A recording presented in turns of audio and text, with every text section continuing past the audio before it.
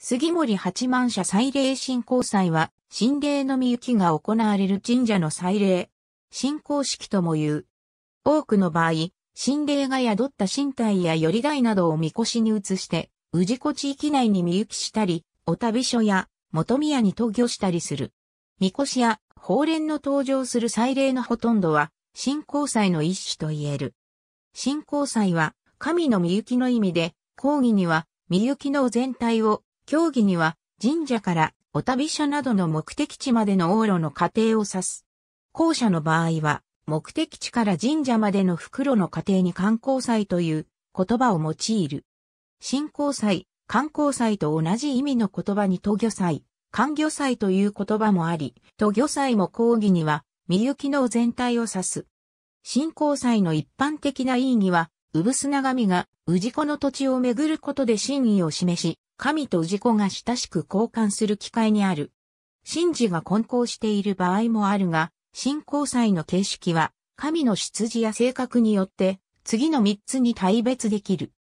本来は、神霊を集落内の祭壇に迎えた者が、祭壇が神社に発展すると、迎える行為が逆の意味の里帰りとして残り、信仰祭になったと言われている。このため、岩倉などの降臨の地がお旅所となり、現在では元宮や元の鎮座地である場合が多い。お旅所に向かう信仰祭の流れは、みこしなどに神霊を移す、神事神社から、お旅所への渡御ご旅所での神事や奉納をご旅所から、神社への官魚神霊を返す神事であり、数日間に及ぶ場合もある。2や4の過程で、氏子地域内を巡行する場合が多い。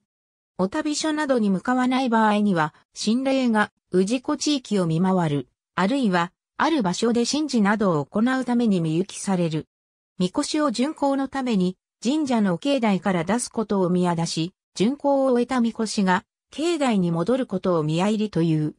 この後は、稚子や氏子から奉納される出しなどが、神社から出る入る場合にも用いられる。先導役の猿田彦面係行列渡御は、多くの氏子が祭礼に関わることのできる場面の一つで、みこしの担ぎ手になったり、祭礼の規模の大きなところでは出し、獅子舞や舞踊などを繰り出し行列になる。渡御行列の順序は祭礼によってまちまちであるが、行列の先頭部には、先導役の猿田彦がいることが多く、その次に見手蔵、笠鉾、獅子、上り、高張上鎮、太鼓などの梅雨払いの役目を持つ者や先頭を示す。ものがあって、みこしが来ることが多い。この他には、神職、みこ、ちご、だし、獅子、舞踏などが行列に含まれる。